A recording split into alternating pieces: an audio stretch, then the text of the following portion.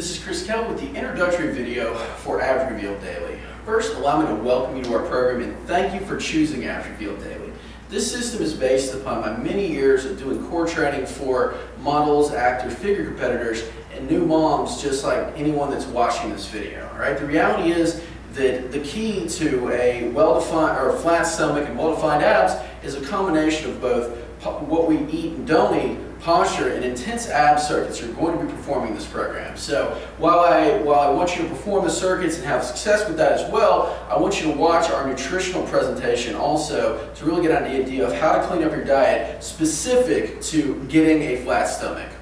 Uh, so with that said, the, uh, this, the purpose of this video is just to kind of explain the way our program works, okay? The, the way our program is set up is that you're going to get a daily email with an ab circuit that describes exactly what to do um, with just basic exercises on a daily basis. Our workouts are anywhere from 10 to 12 minutes. You can perform them anywhere without any equipment. And the way it's set up is that we have two types of workouts. Number one, we have a core strength workout. Core strength workout are based upon exercises like sit-ups, leg lifts, things that are based upon um, lifting the heaviest weight possible, doing the most reps as possible, and really working on strengthening the abs. We also have what are called stability workouts. And stability days are just a, about holding our back flat in exercises like planks and dead bugs, where the objective is not to do as many reps as possible, but it's just to stay up. And I'll explain that as we go along. So with our strength exercises, I'm just going to give you a quick demonstration of how that's set up.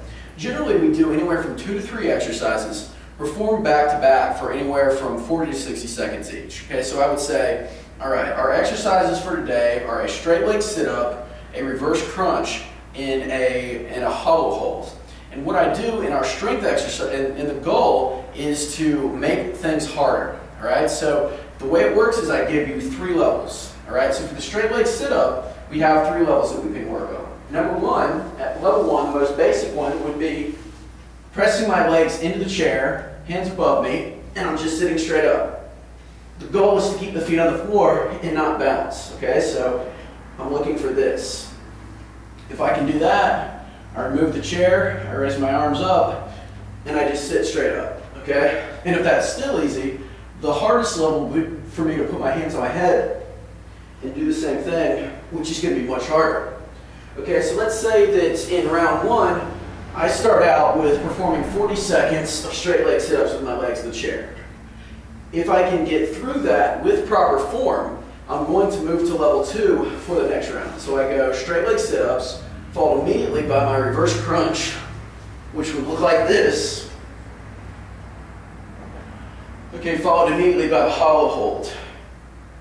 Okay, and so that would those exercises each would last about a minute. So I've, I've gone through minutes, now I'm back to my original exercise, which is my straight leg sit-up. I did level one pretty easily, so I'm going to move to level two, okay? And again, I can do it, it's a little bit harder, so I've decided to stay there, all right? So let's say I go through the workout, and I do level one, the, uh, one first, I do level two on the next round, and then I move back to level one. What I would post in our forum is that I did the level two exercise, or the level two version of the straight leg sit-up because I'm trying to make it, um, I want to post my best total, okay? So um, I would say, yeah, I did level two of the straight leg sit-up, level two of the reverse crunch, and a hollow hold.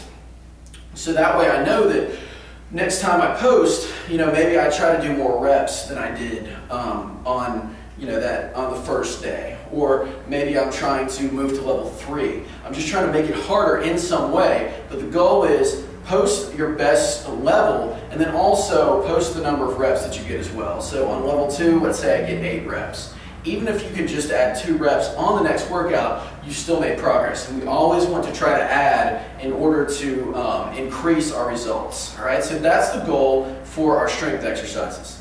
With our stability exercises, we're still generally going to have maybe three exercises performed back to back, but the goal of this would be actually performing exercises like a plank, where I might be moving my legs or my arms, but my back, the goal is just to stay up, to keep my back flat like a table. So with this, I'm not trying to do as many reps as possible. I'm actually trying to move very slow. I'm just trying to keep a very flat back. All right, that's the goal. You should be able to serve a plate of food off of your back versus allowing it to arch. Okay, and it's the same idea for the dead bug position. All right, what I want to do is be able to press my back flat against the floor and extend my legs out or my arms out as far as I can without allowing my back to arch. So I'm pressing my back into the ground, I'm getting my abs tight, and I, I you know, let's say I start this, uh, this circuit with dead bug leg extensions like I'm doing here. All right, if this were the level one exercise, you know, and I do it pretty successfully and I'm able to get through, then I would move to level two, which would be with my legs wide. All right, so that's harder for me. And when I get out to about here, my back starts to arch. So I'm going to stay here. All right, again, what I, what I do here is I just say, all right, level two is my best score for the day, so that's what I'm posting. You're always going to be given levels for the exercises that we give you. I just want you to choose the level that's appropriate for you and just try to make that harder. Post your results in our forum, and that's the way it works there.